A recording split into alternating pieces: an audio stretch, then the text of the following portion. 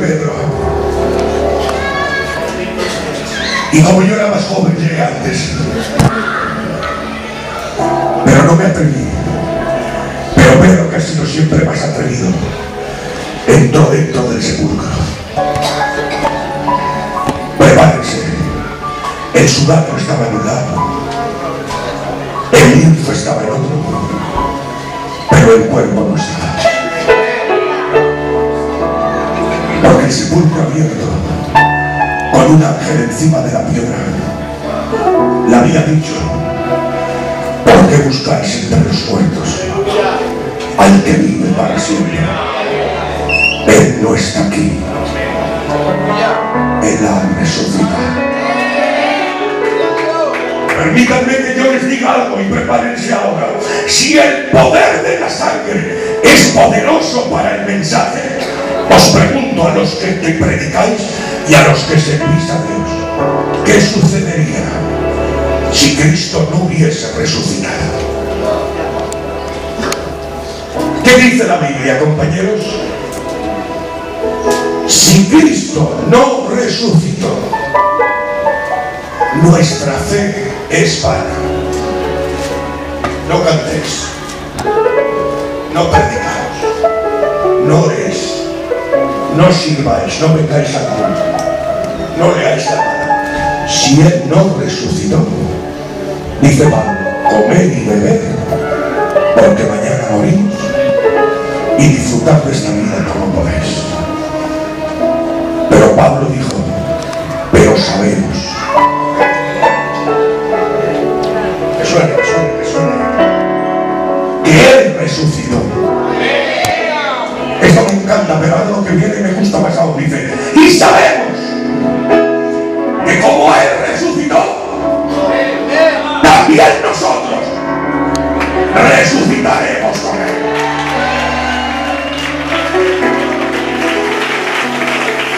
Decía nuestro hermano Manolo empezando, Cristo vive.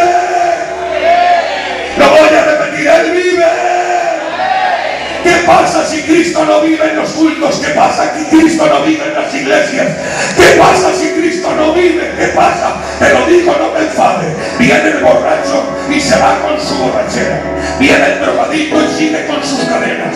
Viene el que se lleva mal con la mujer y se va atormentado. Viene el depresivo y se lleva la depresión. Viene el endemoniado y se lleva los demonios a su casa. Viene el que está en calabozos y cadenas. Pero si no está Cristo vivo, no sucede nada. Pero si en una iglesia, prepárate ahora, sale a la calle gritando a la gente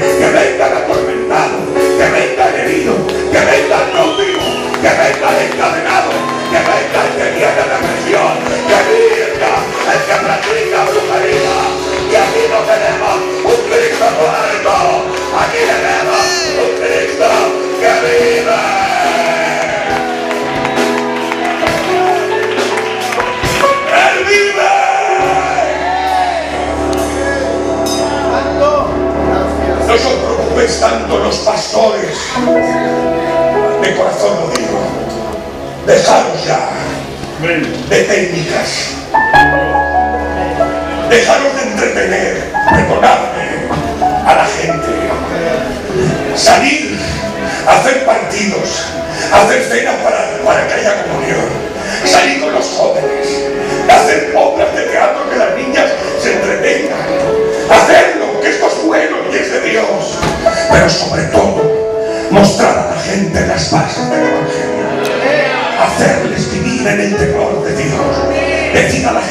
Esto no es un juego.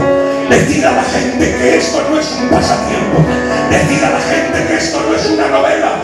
Decir a la gente que esto no es una sociedad. Decir a la gente que esta es la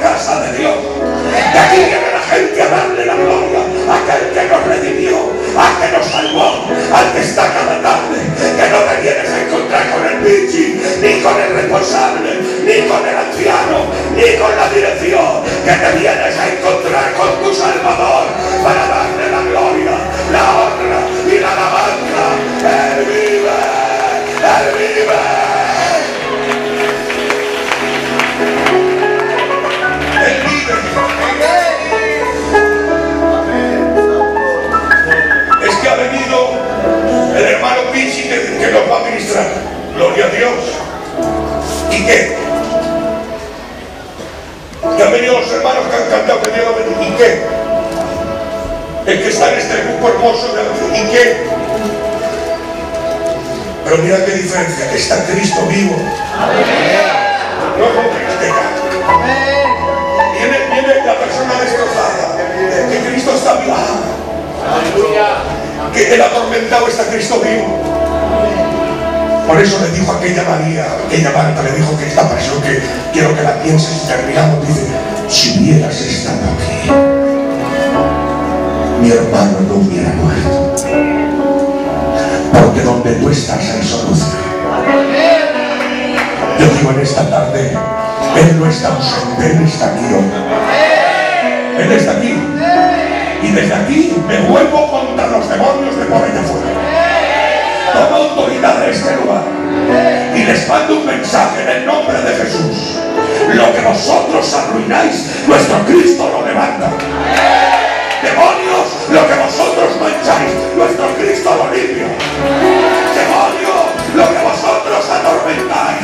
Nuestro Cristo da felicidad y gozo. Por eso en esta tarde un mensaje para ti, iglesia. Hay solución para ti, hay oportunidad para ti,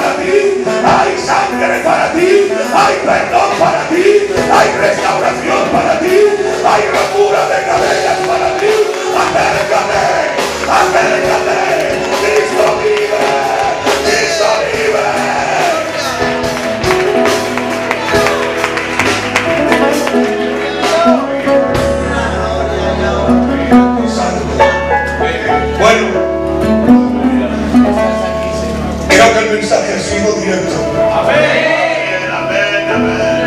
Entonces, hay cinco partes de ese mensaje.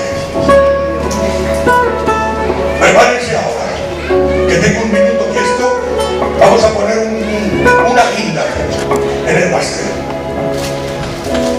Hay cinco partes, un cordero, unas hierbas amargas, un pan sin levadura, unos huesos sin romper. Os he predicado una parte de la el cordero. Falta todo lo demás. Quiero que entiendas ahora que esto os va a. Dice el apóstol San Pablo, nuestra Pascua es Cristo.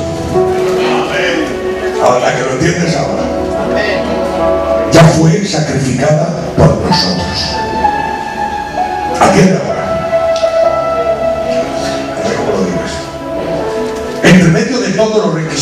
atender ahora, ¿eh? que son tres minutos, pero esto es profundo. Aparece una condición. Pastor, escucha esto, Ángel, que te va a gustar. Dice, la Pascua se ofrecerá entre las dos tardes.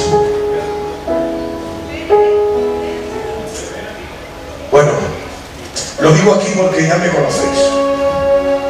Y aquí tengo mucha confianza con ellos. Hay pocas cosas, pocos puntos de doctrina. Lo digo con mucho respeto y mucha nobleza del hermano Pichino haya estudiado. Vosotros lo sabéis. Pero cuando yo vi las dos tardes, digo, las dos, ¿qué, es, qué son las dos tardes?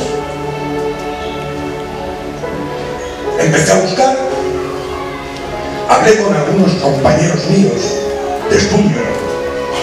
Oye, la Pascua entre las dos tardes que se ofrecieron.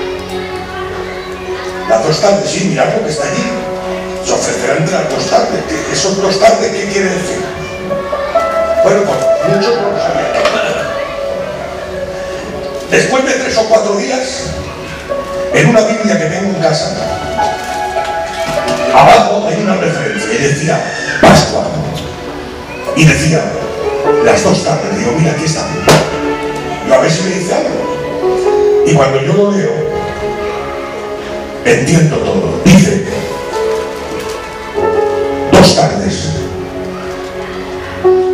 Lo dice así. Cuando el sol se esconde. Lo decían en estas palabras técnicas, el crepúsculo cuando viene la noche y el sol se esconde. Ya, entonces se va la luz. En ese momento era el momento donde el Cordero Pascual tenía que ofrecerse. Hay un grave error. No sé si lo pilláis. A las nueve de la mañana a Jesús lo sacan del pretorio. A las tres de la tarde a Jesús le faltan minutos para morir. Si Jesús muere a las tres de la tarde, no cumple los requisitos de ser ofrecido entre las dos tardes. Porque a las tres pegaba el sol con toda la fuerza. Pero cuando está a punto de morir, el Padre llama al sol y le dice, ven, hoy tienes que hacer una excepción. Y hoy a las tres de la tarde te tienes que esconder. El sol dice, desde que me pusiste, he salido cuando me mandaste y me he escondido cuando me dijiste, exceptuando el día de Josué, que paremos todo el sistema del universo por el aclamar de tu siervo. Y el Padre le dice, hoy mi hijo se entrega, pero si se entrega de día no cumple el requisito, por lo cual escóndete para que mi hijo ofrezca la Pascua entre las dos tardes. Y la Biblia dice, y el sol se oscureció. Y dijo la palabra. Gloria a Dios para siempre. Diga el pueblo una vez fuerte para Dios. A su nombre, a su nombre. Nos quedamos con este mensaje lo digo sin ningún, ninguna vanagloria, lo sabe Dios. El mensaje ha sido hermoso, es hablar de Cristo como el Cordero. ¿No eso da mucha alegría? Cristo como el Cordero. Si como Cordero consiguió lo que consiguió, ¿qué va a conseguir cuando sea o se manifieste como león? Dios mío de mi vida. Dios mío de mi vida. Dios mío de mi vida. Así que por favor nos queda algo que hacer todos aquellos. Dijo nuestro hermano Antonio de Moradí, lo que no es mío digo de quién es. Y los ancianos quitaban sus coronas y la tiraban a los pies del cordero. Y le decían, solo tú eres digno de recibir la gloria, la honra, el poder, la alabanza y la adoración. Y decía Antonio, brillaban más las coronas en los pies del Cordero que en la cabeza de los ancianos. ¿Queréis que en esta tarde cojamos la iglesia y cojamos nuestras coronas y vengamos a tirarlas a sus pies? ¿Queréis? ¿Queréis que las mujeres vengan con el frasco de alabastro y nos rompamos y unjamos a nuestro Señor? ¿Queréis que los reyes y príncipes le tiren